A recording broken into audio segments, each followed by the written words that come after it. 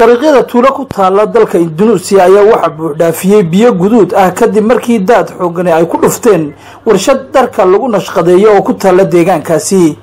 Biyahan le midabka casaanka ayaa shalay oo sabti ahayd ku qulqulayay waddada jangoot ee bartamaha magaalada jasiiradda ah ee jaafa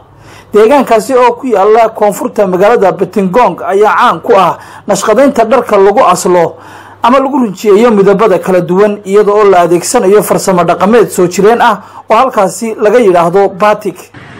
Kubanaan qof oo ka mid ah dadka isticmaalo baraha bulshada ayaa wadaagayay sawirro muujinaya biyo guduud ah oo qarqiyey tuuladaasi. Mas'uul ka shaqeeya arrimaha gargaarka ee deegaankaasi ayaa xaqiijiyey in sawiradaasi ay ka turjumayaan xaqiiqda dhabta ah ee halkaasi ka jirta biyahan guduudka ah ee ku fatahay tuuladaasi waxay ahaayeen asal ama rinjiga lagu hardho dharka ee baatiga oo daad uu ku dhuftay ayuu yidhi dimas aranga yunga oo la hadlay wakaaladda wararka ee royters guduudkaasi ayaa waxoogaa kadib baabi'in doona marka uu ku do-o roobka xoogani. Webiyada ku yaalla batigong ayaa marar hore la arkay iyaga oo wada biyo midaba leh sababtana waxaa lagu sheegay rinjiga dharka lagu hardho ama lagu aslo oo marka ay roobabku da'aan ku milmaa daadadka waxaana sidaa ay sheegtay wakaaladda wararka ee royters bishii la soo dhaafay la arkayay biyo cagaaran oo ku fatahay tuulo kale.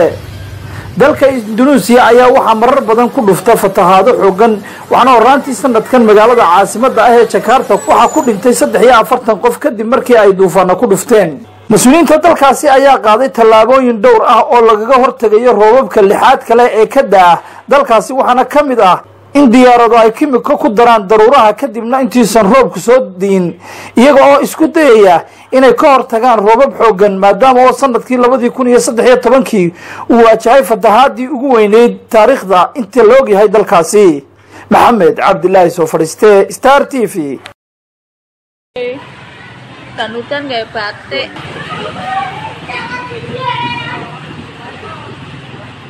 Lautan merah.